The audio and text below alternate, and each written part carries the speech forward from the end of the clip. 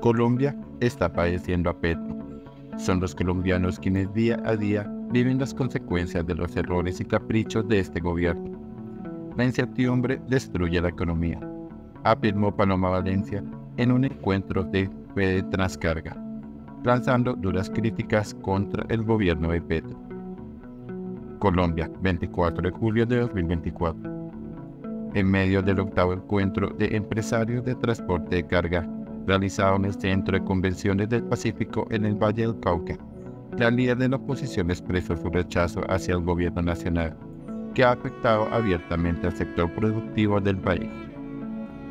Con su reforma tributaria, el gobierno le ha quitado casi 18 billones de pesos a este sector.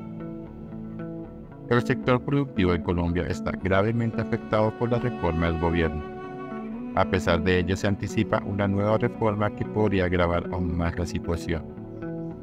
Los recursos destinados a estas reformas a menudo se desvían hacia la burocracia, lo que impacta negativamente en la economía del país. Además, con la modificación del régimen aduanero, se pretende afectar el proceso de importación, lo que podría hacer que Colombia pierda viabilidad como destino para productos extranjeros y desincentivar a los proveedores internacionales a enviar sus productos al país, sostuvo Valencia. La congresista aprovechó su visita al suroccidente colombiano para reiterar su llamado al arroba voz también SOS Cauca y lanzar un SOS por el Valle del Cauca.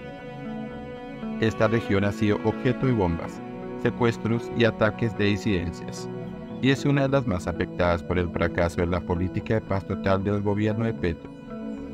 Esto no es un tema menor. Durante el gobierno de Petro han aumentado 3.587 hombres en armas, llegando a 16.767, volviendo al 2014, dijo Valencia. Durante el encuentro, la senadora destacó la baja ejecución del gobierno en materia de transporte a la fecha, aunque a más de 4 billones de pesos por comprometer. Y en la primera mitad de 2024, la ejecución en inversión alcanza apenas un 21,8%. La senadora afirmó, es muy grave que el presidente Petro considere que las vías 4G son solo para los ricos y que, bajo esta premisa, quiera retrasar las vigencias futuras para estos proyectos. Para concluir, la líder de la oposición expresó su preocupación por el afán de estatización del gobierno.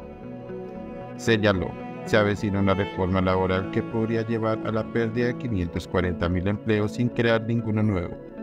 Una reforma educativa que debilita al sector privado sin mejorar la calidad y una reforma de servicios públicos que busca eliminar la participación privada y las alianzas público-privadas.